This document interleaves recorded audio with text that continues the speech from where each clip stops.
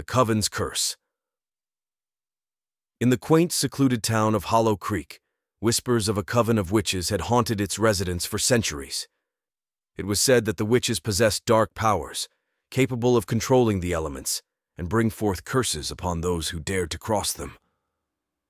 On a chilly autumn night, a group of adventurous teenagers decided to explore the reputed Witch's Den, an old dilapidated mansion on the outskirts of Hollow Creek. Armed with flashlights and a daredevil attitude, they ventured into the heart of darkness. As they delved deeper into the mansion, they stumbled upon a hidden chamber. Inside, an ancient tome lay open, revealing cryptic symbols and incantations.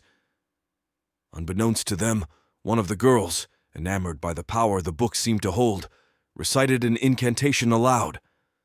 Suddenly, the room shook violently as a rush of wind howled through the mansion. The teenagers watched in horror as dark shadows took form, morphing into spectral figures. The coven had risen.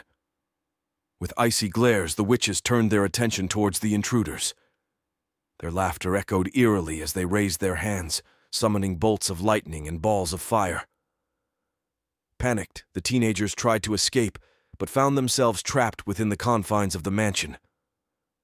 One by one, the coven's curses struck down the frightened teenagers until only one remained, the girl who had recited the incantation. She stood there, tears streaming down her face, accepting her fate for awakening the dreadful coven.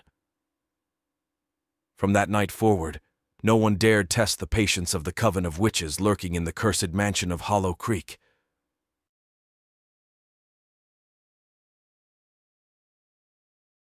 Thank you for diving into the spine chilling mysteries with Chills Unveiled. If you've enjoyed the eerie tales and creepy narratives that send shivers down your spine, make sure to subscribe to our channel for more hair raising content.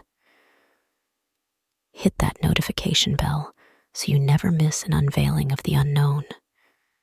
Join the community of thrill seekers and let the darkness unfold. Subscribe now and let the nightmares continue.